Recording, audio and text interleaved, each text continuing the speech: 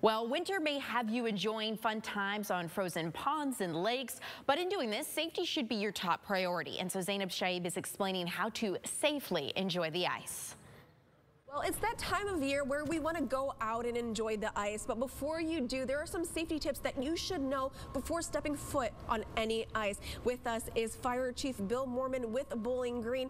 Now, I have this outfit right here. This is actually called a Mustang that you guys wear to rescue anyone that fell through. That is correct. It's a ice rescue suit that'll keep the uh, rescuer safe, uh, keep them warm and dry. Um, it also acts as a, a buoyancy device. And one of the things that you have in your hand here that's attached to the suit also, they're called ice picks or ice awls. And what they'll do is they'll assist us once we're in the water to get out of the water and onto the back onto the ice. So you can actually climb through by just jabbing it onto the ice and working your way out, correct? That is correct. And actually they sell those commercially at fishing stores and that for ice fishermen.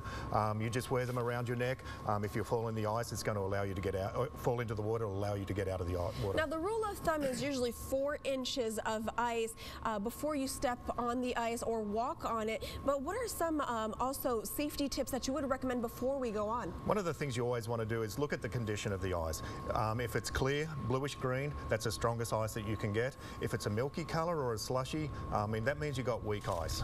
Mm -hmm. And of course, never go on the ice alone. And with you, you have a safety vest and also a rope that can help save somebody's life. That is correct. If, if you have the uh, an incident where someone falls through the ice, we recommend that you do not go out on the ice. Typically, uh, inexperienced individuals will go out on the ice, they'll fall into the into the water also call 911 immediately.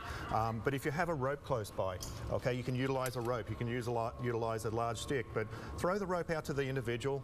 Just throw it on out there.